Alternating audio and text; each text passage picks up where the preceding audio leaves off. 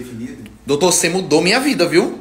Diga aí. Mudei sua vida? Não, mudou, porque, eu- caramba, tá, ó, pra começar, tom gostoso, Não, gostou. tom gostoso da porra, todo mundo fala isso. Segundo, tô dormindo bem, acordando bem, é, meu mau humor foi embora quase, tá ligado? Não tem mau humor mais. Não tem mais mau humor, minha autoestima tá lá em cima, tipo, sabe que você dorme bem, você deita, você dorme, é, vou treinar todos os dias, sabe? Tô acompanhando que você tá treinando todos os Não, dias. até bunda, pô. Não, ganhou bunda. Não, bundinha gostosa, ganhou sabe? bunda, autoestima, sono bom, tá super bem. Não, me impressionou, sabia? Não botava muita fé não, dizia, não, será? Todo, todo mundo falou que você tava o mais bonito do leilão do Neymar, hein? Teve esse comentário.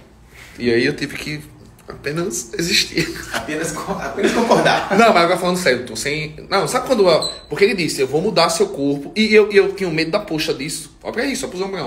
E aí eu tinha medo porque na minha cabeça eu achava que é tipo assim, que eu vou tomar bomba, que eu ia passar mal, que eu não sei o quê. O que foi que você fez aqui?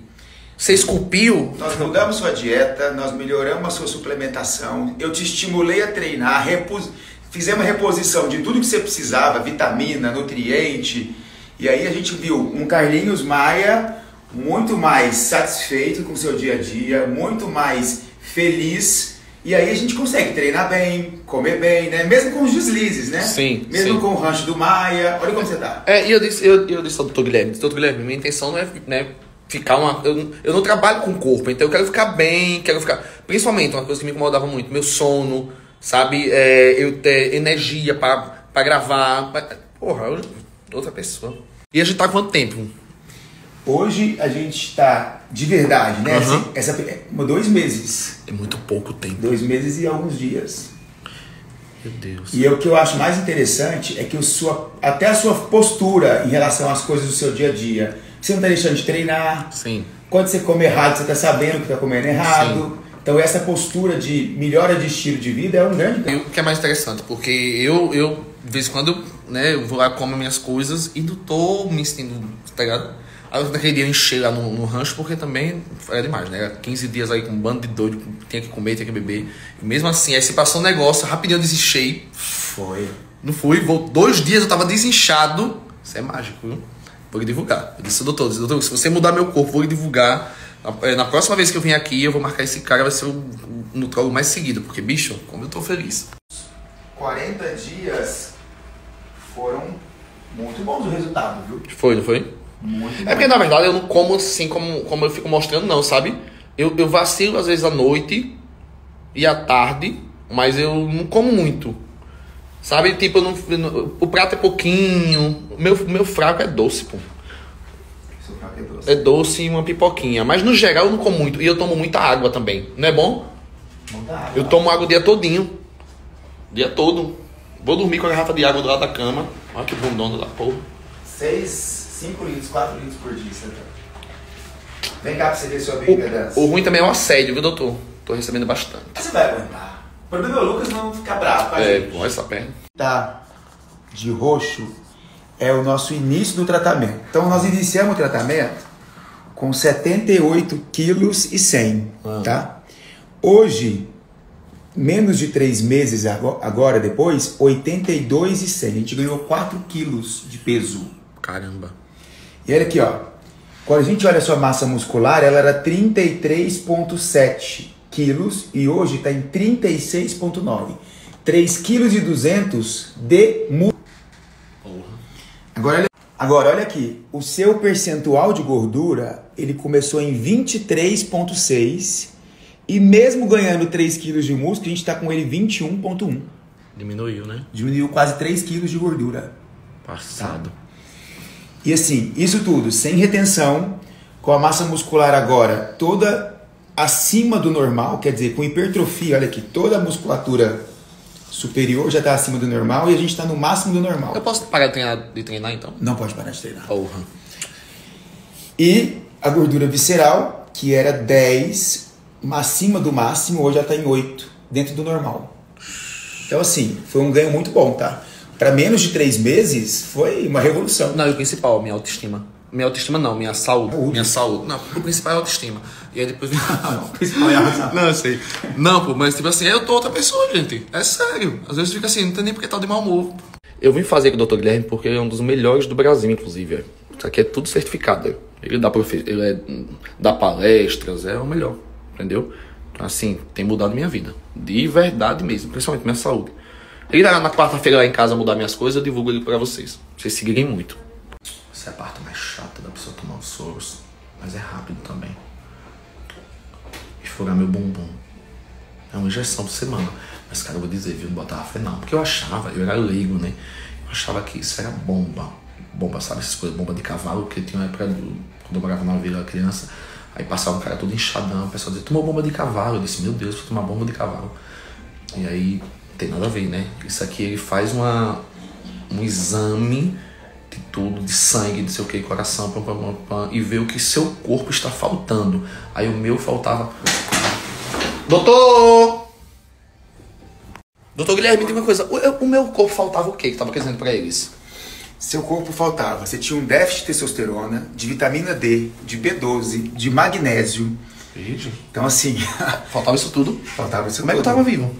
Tava vivo, porque você tava, você é jovem, consegue viver e tal. É isso que eu tava dizendo, porque o pessoal, quando eu eu achava, né, eu tinha preconceito a porra, dizia "Ó, esse negócio com a bomba, né? E não é, depois que eu vim entender, pô, a gente cheguei aqui, a gente fez exame de coração, exame de um monte de coisa, não foi? De Foi, sangue, de tudo. pra ver o que faltava em mim, né? A gente está fazendo o que a gente precisa fazer, que é colocar aquilo que faltava e, melhor ainda, superar os normais e deixar no ideal. Quando é que passa, quando é que fica ruim? Quando bota muita coisa em excesso, é? Assim, na verdade, tudo que é feito sem um diagnóstico correto, sem uma conduta bem equilibrada, porque esses exageros que trazem problema. Você não teve problema nenhum. Nenhum. Você não teve acne, você não teve queda de cabelo, Zero. você não teve nada de E a minha maior preocupação, ter, ficar com o corpo cheio de espinha, que é nojento. Então, assim, o que a gente, então, o que a gente está fazendo é tudo muito controlado, muito é, tailor-made. É como se fosse um alfaiate que está fazendo uma roupa para você, entendeu? Então a gente está fazendo um negócio bem certinho. Passado. Amando. Entendeu mais ou menos? Ai, achei o máximo. Entendeu? Como é que pode? Eu ao mesmo tempo fico como a ciência é um negócio absurdo. Só Deus nem pra botar na cabeça do povo a ciência. Porque do nada nem peito eu tinha. Entendeu? Hã? Minhas roupas estão nem cabendo. Minha pele, tudo. Tô muito lindo. Deus mesmo.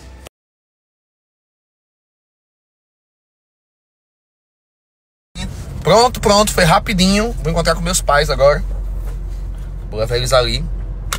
Entendeu? Vocês querem ir? Eu tô de boa. Pra parar mais. Eita, a mulher fumando. Parei de fumar, ó. Parei de fumar. Eu não fumava tanto assim, não. Parei, enjoei. Eu tava vendo como eu sou de fase, eu enjoei do cheiro, assim. E olha que eu só fumava de vez em quando. Parei, parei. Mas se me der a dor de algum momento, eu vou fumar um. Mas parei. Gente, vou usar mais jeans, né? Olha como fica legal. Toda vez eu esqueço. Usar jeans. Assim por cima. Tá um friozinho, tá um friozinho junto. Ah, outra coisa, eu vou passar o São João no Nordeste. Vou me picar pra lá. Vou conseguir passar o São João aqui não. Nessa. nessa entendeu? Nessa sanfoninha. Ou sanfoninha, o que que tem a ver? Mas é isso. É meu aniversário também. Não quero festas e surpresas nem nada. E quando for mandar um parabéns, mande textinhos pequenos. Aí eu vou ler.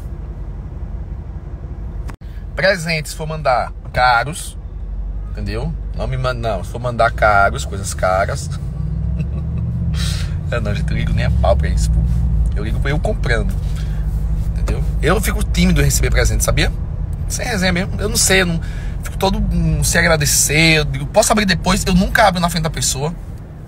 Eu sempre digo assim, posso, posso, eu vou abrir depois com calma, com carinho. Eu tenho um problema de receber presente. Aí, pra dar não, dá eu distribuo. Mas, quer dizer, presente. Aí outra coisa, depois que eu fui lá no leilão do Neymar, eu decidi, vou ser jogador de futebol. Já tô negociando com alguns times. É, Real Madrid, ou aqui eu vou ficar aqui pelo Santos ou pelo Flamengo mesmo. E aí tô, gostaria de comunicar essa, essa decisão. Eu sempre joguei muita bola.